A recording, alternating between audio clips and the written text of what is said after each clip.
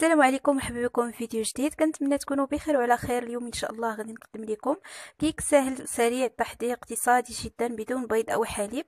كيجي رائع كيجي خفيف بزاف ولذيذ. غادي نحتاجو فيه كاس العنبة هو باش خديت القياس ديال هاد المقادير. عندي كاس لاروب ديال السكر أو مي... آه تقريبا كاس ما عامرش. نفس القياس ديال الزيت الزيت النباتيه وعندي كاس وربع ديال الماء ماء عادي من روبيني. عندي آه جوج ديال الخمارات. كل كيس فيه 8 غرام.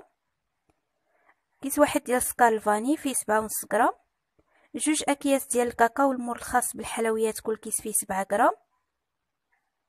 جوج كؤوس ديال الدقيق القياس دائما بنفس الكأس اللي هو كأس العنبة. غادي نبداو في الطريقة ديال التحضير اللي هي هي بسيطة بزاف وسهلة وما كتاخذش الوقت بزاف غادي ناخذ واحد الإناء غادي نخلطوا فيه النواشف كناخذوا آه، الدقيق جوج كيسان ديال الدقيق قبل ما نديروا الدقيق كنغربلوه باش كتجينا الكيكة خفيفة وهشيشة بزاف. آه، هنايا آه، بالنسبة للدقيق كنعمروا الكاس وكندوزوا الأسبوع ديالنا وكنحسبوا جوج ديال الكيسان. غادي نضيف عليه كيس واحد ديال السكر الفاني كنضيفوا السكر سكر سنيدة أو حبيبات. غادي نضيفو الكاكاو حتى هو غادي نغربلوه باش كنزولو منه هذوك الكويرات اللي كيكونوا تاخذوا القياس حتى بالكاس ديال الياغورت اللي فيه 110 غرام ماشي بالضرورة يكون كاس العنبة. المهم هو أنه نفس الكاس اللي خدينا به القياس ديال السكر كناخذوا به القياس ديال الزيت الماء والدقيق. كنضيفوا واحد القبصة ديال الملحة اللي مهمة في أي حلوة.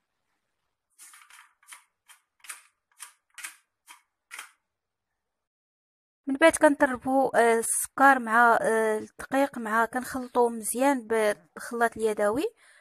هاد الكيكة ما كتحتاجش أننا نديرو الخلاط الكهربائي فقط آه، باليد كتحضروها.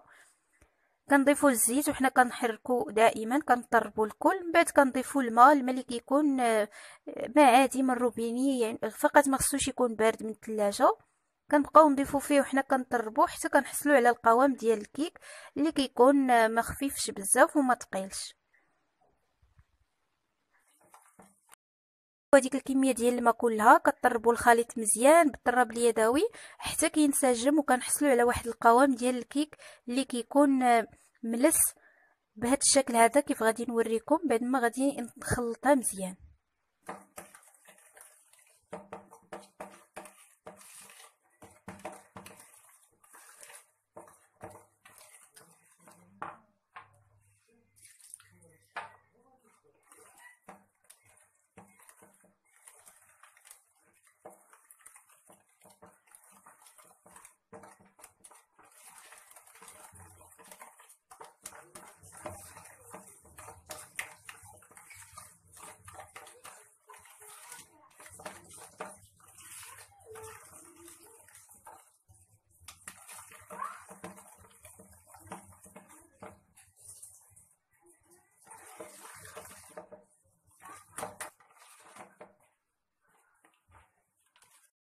الان بعد ما خلطت الخليط ديالي مزيان آخر مرحلة كنضيفو جوج ديال الخمارات. قبل ما نضيفوهم كنغربلوهم باش كنحيدو منهم هذوك الكويرات.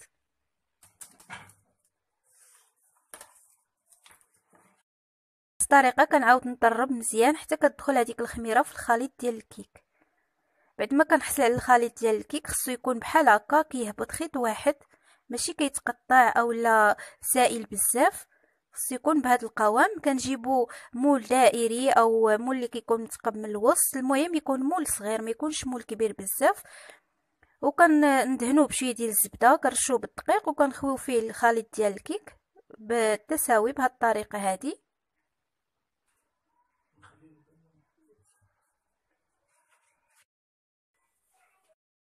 ندخلو الكيك ديالنا للفرن اللي تيكون بارد كنشعلو فقط من التحت آه، النار كتكون متوسطة جدا على أقل درجة. ما كنشعلوش على هاد الكيكة من الفوق نهائيا كطيب غير من التحت كنخليوها مده ديال 30 دقيقة. خدات ليا 30 دقيقة. بعد ما كدوز 30 دقيقة عاد غادي نختبروا النضج ديالها. بعد ما كطيب الكيكة ديالي كتبان ليا تنفخات آه، كدوز 30 دقيقة. كنجيب واحد عود ديال الخشب. هنايا بالنسبة لهاد الكيكة هادي ما خصهاش طيب بزاف غير كدوز 30 دقيقة كنحلو عليها وكنختبروها إلا خرج لينا ناشف كنعرفوا أنها طابت وأيضا كتقيسوها من الفوق كتحسوا بها ناشفة. صافي كتعرفوا أنها طابت ما كاينلاش تشعلوا عليها من الفوق. ومن بعد كتاكدوا أنها ما لاصقاش مع الجوانب ديال المول. كنخليوها حتى كتدفى واحد شوية عاد كنقلبوها فوق شي شبكة باش كتبرد.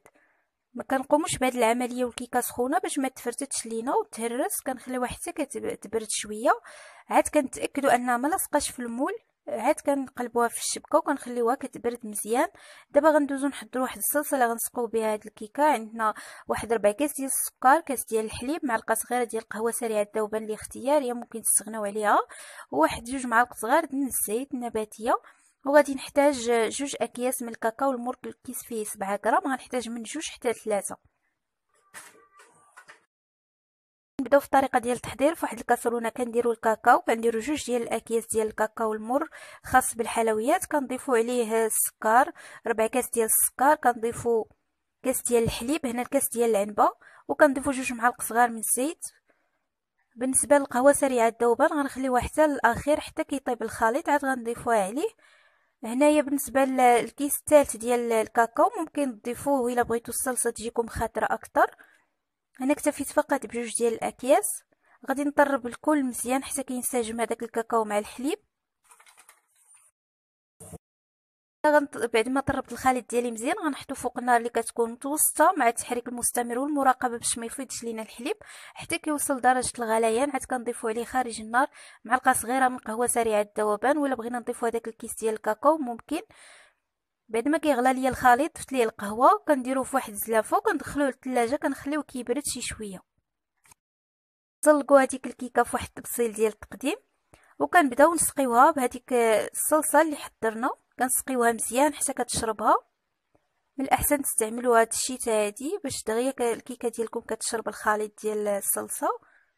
وكتزينوا من الفوق برقائق اللوز اللي حمرناهم شوية في المقلة. التزيين كيبقى اختياري ممكن تخليوها غير هكاك.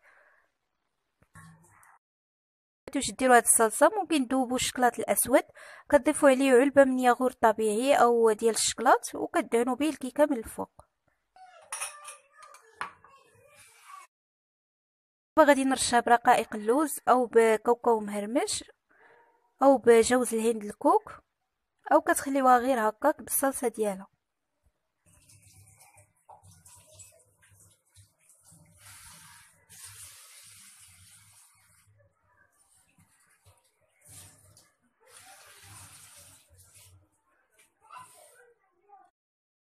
كيكون هذا هو الشكل النهائي ديالها؟ كتجي على هذا الشكل كتجي بنينة بزاف وهشيشه كتجي خفيفة بحال الجينواز. واخا ما درناش فيها البيض وما درناش فيها الحليب كتجي هائلة. أنا متأكدة إلا جربتها غتعجبكم. غادي نقطعها باش نوريها لكم كيف كتجي من الداخل.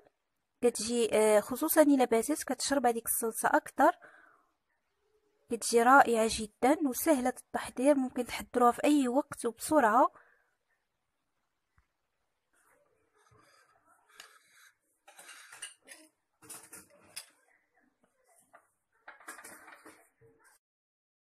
نتمنى الفيديو ديال اليوم يكون عجبكم إلا عجبكم ما تنساوش تخليو لي جيم تشاركوه مع الأصحاب والأقارب ديالكم باش تعوم الفائدة. وتشتركوا معايا في القناة إلا كنتو باقي ما مشتركينش.